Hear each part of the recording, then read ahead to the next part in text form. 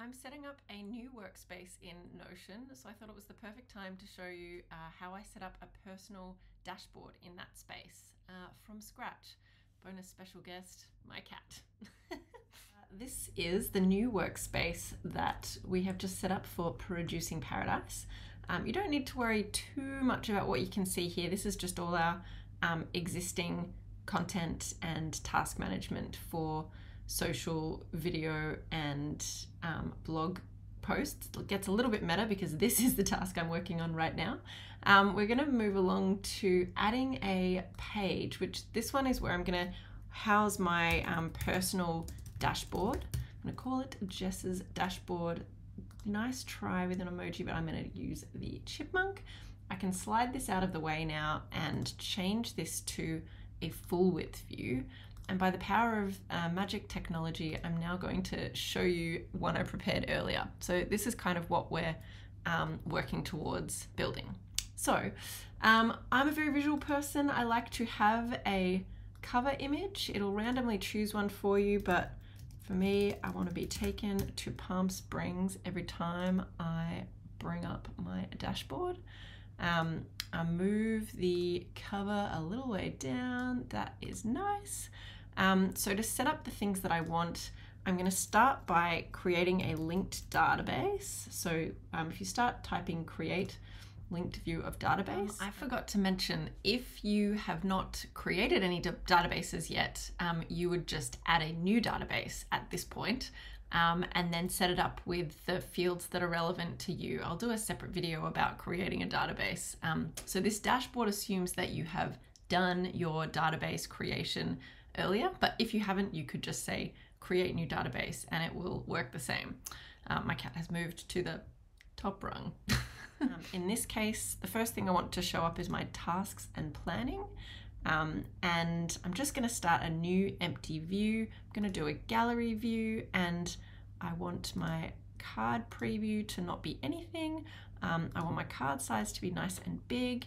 I'm going to call this view my PP tasks, which stands for Producing Paradise tasks. Um, and then I want to filter these tasks by anything that's assigned to me. Um, and, oh, did that work? Yes. Um, and I also just want to see the stuff that is due. Um, let's say an advanced filter is on or before today. So I really just want to show um, it filtered down to the tasks that I have set up to um, on or before today. Um, everything else here, you could have it sort in a particular order, but there's not going to be too many cards. I'm pretty happy with how that is looking. That noise was my cat. Um, I'm going to hide the database title and start the next piece. So moving down here, the next thing I want to do is show my posts. So I'm going to do a linked view of another database. Um, setting up databases will be a um, video for another day, but these databases exist. Basically, we just have different um, boards or databases with all of the uh, content. I'm going to skip along to gallery view again. I don't want a card preview. I want a large card size. And again, I want to filter. Oop, oop, where's my filter? Down here. I want to filter by um, author contains me. Uh, here it is by in progress or next in line. Um, oh, nerds. My gallery view didn't work, so I'm just going to go back in here, change it to gallery.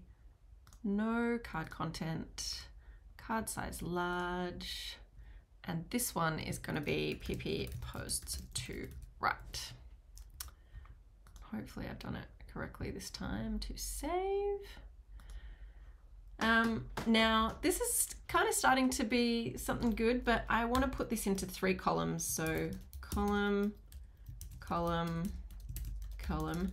Uh, it's probably easier ways to do this, but I don't know what they are. so I just put in my placeholder text to set up my columns, and then I can move this one into that column. I can move, actually, maybe I want that one on the far end. I'll move the tasks into the middle. Um, and if you wanted to, you could give these headings, but in this case, I've already got the heading in the view title. So I'm starting to see a dashboard come together, a list of my tasks that are assigned to me and due on or before today, um, a list of posts to write that's filtered by uh, oh, six sorts, probably don't need any of those. Oops. Just going to leave all this in, warts and all. Um, so I don't need this to be sorted by anything, but perhaps if it was going to be sorted by anything, it would be by date posted or goal. Oh, I put that in the wrong spot. Wow, this is a dog's breakfast. Sort by date posted or goal. Um, uh, sending. Okay, so, and here we are. Next post in line is this one. Um, I can now hide this database title, and so I can turn off those filters, turn off these filters, and I've got my task list. Um, next, over on the side, I might want to have maybe um, quick tasks that don't need to live in any of those um, databases. And actually, maybe I want this to be heading three style, quick tasks. Um, and if you start typing to do with a slash, then you get this little to do checkbox. Go, uh, do this thing, this other thing, another little task. And actually, you know what? I did that one. Um, and then as we go down, so there are other kinds of views you might want to add. Um, if you bring, drag your, um, any of these little text blocks, you can drag them down to below your other content, take them out of the column. I might put a divider in just to make it nice and clear. And then down here, maybe I want to include um, some of those uh, social um, posting schedules. So I'll do another link to your database, this time of the um, social video posts. And I want to see, say, the YouTube timeline, but I only want to see my stuff. So I only want to see it when the uh, post author is me, contains me. Um, and so this is my YouTube posting timeline. Wow, getting real meta. Um, and I want to sort this one by date for YouTube. And so what this view is now giving me is a nice little calendar. Um, that is something that is already done. And then this one, so if I now go into social video posts, uh, YouTube timeline, I'm doing this post right now, so let's just figure it out. How to set up a personal dashboard in Notion. So I'm adding that to my social post um, timeline. I'm going to say it's related to a blog post, um, how to set up a personal dashboard in Notion. So it's automatically carried over the post author with some fanciness from that. It's done a little lookup. Um, in this case, I'm going to say it's a link to a PP post. It's in progress. The network is going to be YouTube and not sure about TikTok yet. Um, and so this one now appears on that day and it's assigned to me. If I go back to my dashboard, I've now seen that post pop up as um, the next thing in this timeline. So that's cool. So I'm actually going to leave it there because 10 minutes is long enough for a little how to.